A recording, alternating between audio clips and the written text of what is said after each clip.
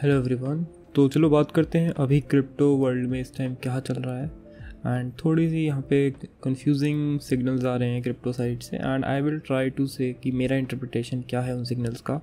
बाकी आपकी मर्ज़ी है, आप किस टाइप से ट्रेड करना चाहेंगे उस पर लेट्स गेट स्टार्टेड अगर आप नए हैं चैनल पे तो सब्सक्राइब करना मत भूलना एंड लाइक कर देना वीडियो को अगर आपको अच्छी लगती है।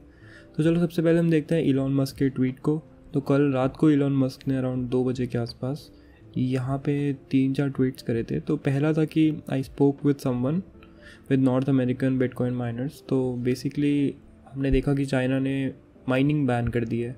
तो इस टाइम जो नॉर्थ अमेरिकन माइनर्स हैं, वहाँ पे उन्होंने बिटकॉइन माइनिंग की सेटअप्स कर रहे हैं एंड इन्होंने इलॉन मस्क से बात करी कि हम कमिटेड हैं ग्रीन एनर्जी को यूज़ करना रिन्यूएबल एनर्जी को यूज़ करना फॉर माइनिंग तो यहाँ पे इलॉन मस्क ने ये ट्वीट करके, ऐसा कोई सिग्नल नहीं दिया है कि Tesla will start accepting again but उन्होंने बोला है कि मैंने बात करी है and it might be fruitful okay तो यहाँ पे उन्होंने ये इंडिकेट किया है। इसके बाद हमने देखा माइकल सेलर जो कि एक और बहुत बड़ा नाम है क्रिप्टो इंडस्ट्री में। उन्होंने यहाँ पे इस ट्वीट को कोट किया है एंड यहाँ पे उन्होंने अपने हिसाब से लिखा है कि मैंने होस्ट करवाई मीटिंग उसके बाद हमने देखा कि डोज कॉइन को लेके भी यहाँ पे दो ट्वीट करे गए हैं एंड उसके बाद हमने देखा डोज कॉइन के प्राइस को स्पाइक होते हुए। बट वो बहुत जल्दी रिकवर हो गया था मतलब नीचे आ गया था वापस। तो बेसिकली अभी इतना फ़र्क नहीं पड़ रहा है लोगों को डोज का प्राइस देख के हमें लग रहा है कि इलोन मस्क की tweets are getting a little bit of ignored right now तो अगर हम देखेंगे डोज कॉइन का प्राइस अगर हम वन आवर मार्क पे जाके देखें आई गेस थर्टी मिनट्स तो यहाँ पे आपने देखा कि स्पाइक आई एंड उसके बाद ये वापस नीचे आ गया। तो मार्केट में अभी भी थोड़ा सा बेयरिश ट्रेंड हमें देखने को मिल रहा है। इसके बाद हम बात करते हैं चार्ट्स की। तो आप देख सकते हैं कि हमने कल आपसे शेयर किया था हेड एंड शोल्डर मॉडल तो इसको हम ज़रा शिफ्ट करते हैं फोर आर चार्ट्स पे। तो हेड एंड शोल्डर मॉडल हमने आपको शिफ्ट यहाँ पे बनाया था एंड हमने दो पॉसिबल आपको यहाँ पे रेजिस्टेंस दी थी, एक थर्टी एट पे दी थी एंड एक ऊपर वाली दी थी फोर्टी पे। तो फोर्टी वाली रेजिस्टेंस से ये बाउंस बैक कर गया है एंड हमें पूरा एक सीधा वी शेप देखने को मिला है, जैसा हमने यहाँ पे प्रेडिक्ट किया था। Again trade charts market manipulation में काम नहीं करते हैं। बट हमें एक ठीक ठाक पैटर्न यहाँ देखने को मिल रहा है एंड यहाँ से अगर ये नीचे जाता है तो हम इस चार्ट को फॉलो कर सकते हैं। चार्ट आपको हमारे टेलीग्राम चैनल पे मिल जाएगा, जो आप ज्वाइन कर सकते हैं। लिंक सारे आपको डिस्क्रिप्शन में मिलेंगे। तो यहाँ से अगर ये नीचे जाता है, जो कि हमें रेड लाइन्स दिख ही रही हैं तो शायद जाए। तो यहाँ पे एक बाइंग अपॉर्चुनिटी हो सकती है। उसके बाद आई थिंक ये दोबारा ऊपर जाएगा एंड यहाँ पे थोड़ी देर शायद बिटकॉइन अपना टाइम स्पेंड कर सकता है। बट इसके अलावा एक और पॉसिबिलिटी है। अगेन ट्रेड चार्ट्स हम केवल स्टडी करते हैं। They are not accurate hundred percent हम गारंटी नहीं दे सकते। बट काफ़ी सारे पैटर्न्स हमें सेम देखने को मिलते हैं।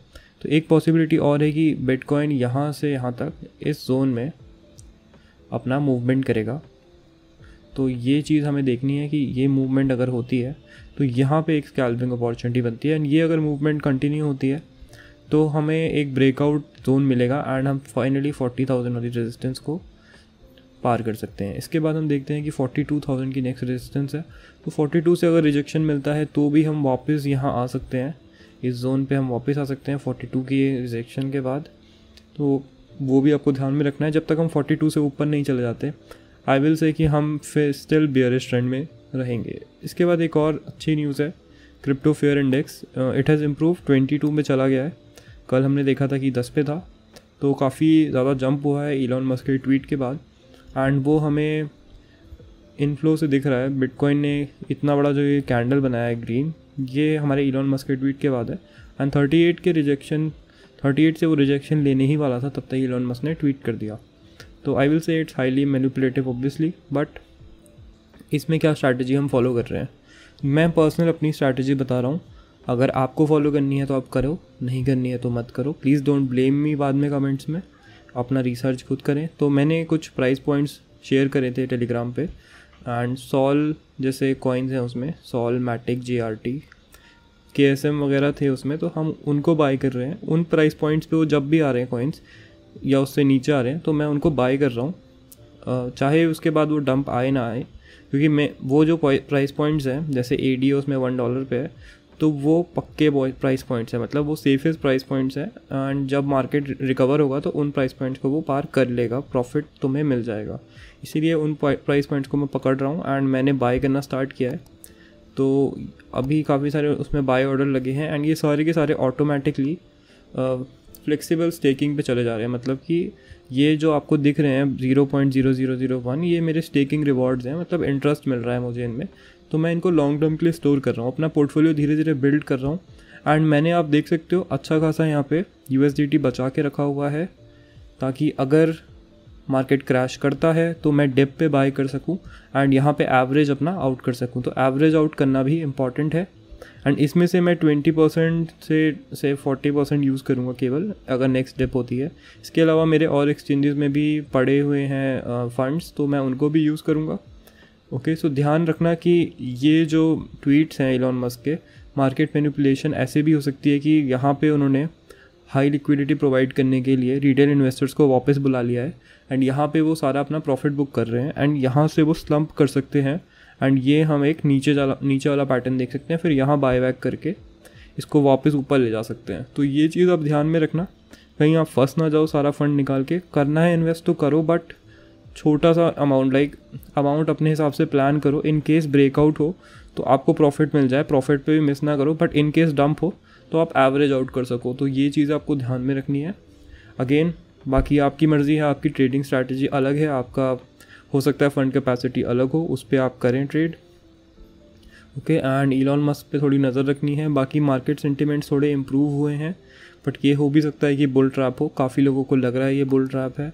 एंड अक्रॉस द बोर्ड अगर हम एक्सपर्ट्स की देखें लाइक like और यूट्यूबर्स को अगर हम देखें एंड जो ट्रेडिंग एक्सपर्ट्स होते हैं चार्ट एनालिस्ट होते हैं, उन सब का मानना है कि अभी बिटकॉइन 28 के स्टिल जा सकता है। अगेन मैंने अपनी पूरी रिसर्च करी है उस हिसाब से एंड मेरे ट्रेड चार्ट पैटर्न के हिसाब से भी वो उस साइड जा सकता है। ओके बट अगेन अगर मार्केट मैनिपुलेशन है तो हम एक अलग ट्रेंड देख सकते हैं क्रिप्टो करेंसी में रेगुलेशंस ना होने के कारण। मार्केट मैनिपुलेशन हमेशा एक डर बना रहता है। तो अगेन अगर आप लोगों को नहीं पता है कि कौन कौन से कॉइन्स हमने सजेस्ट करे हैं तो मैं आपको एक बार ओवरव्यू दोबारा से दे देता हूँ। अगर हम मार्केट्स में जाएँ तो मैंने फेवरेट करे में वो कॉइन्स तो यहाँ पे आप देखोगे तो सोलाना है जो थर्टी डॉलर्स या उससे नीचे मैंने रिकमेंड किया है। फिर के है जो थर्ट थ्री हंड्रेड डॉलर या उससे नीचे। फिर बी एन बी है टू फिफ्टी डॉलर्स या थ्री हंड्रेड डॉलर की रेंज में। वैसे मैं टू फिफ्टी पे बाई कर रहा हूँ। बिटकॉइन हमने थर्टी के डॉलर्स पे है। उसके बाद इथीरियम क्लासिक हमारा फोर्टी फाइव डॉलर के आसपास है। यूनी हमारा फिफ्टीन डॉलर है। लाइट कॉइन हमारा वन फिफ्टी से नीचे है। डॉट हमारा ट्वेंटी डॉलर या उससे नीचे है। लिंक भी ट्वेंटी से नीचे है। A D A one dollar पे है। ओके एंड रून कॉइन है, जो नया कॉइन मैंने ढूंढा है। एंड अभी मैंने ये टेलीग्राम पे नहीं करा है बट इट्स इसका हमने टेन डॉलर रखा है। फिर है एक कॉइन जिसका नाम है ए आर ए आर को भी हमने टेन डॉलर पे रखा है। G R T zero point seven five and E N G E G L मतलब एनरोल गोल्ड आई थिंक इसका नाम एनरोल गोल्ड है। तो वो एटी डॉलर पे बाय करूँगा एंड लूना एट डॉलर से नीचे आई आई एम ग्रैबिंग तो मतलब थोड़ा सा मैंने ले लिया है and I am waiting it to average it out at four dollar और समथिंग ओके सो यहाँ पे ये ट्रेड्स मैं लेके चल रहा हूँ। अभी इन्हीं कॉइन्स में मैं बैट कर रहा हूँ क्योंकि मुझे इनकी रिकवरी पे पूरा भरोसा है। बाकी आप अपने हिसाब से लेके चलें कि क्या हो रहा है एंड आपको बाय करना चाहिए ना नहीं करना चाहिए। तो this was an overall video सब कुछ रैप अप करते हुए। होपफुली आप लोगों को अच्छी लगी होगी। सब्सक्राइब कर देना अगर अच्छी लगी। लाइक कर देना या फिर कमेंट सेक्शन में बता देना कुछ अगर आपको मिसिंग लगा। And I see you in the next one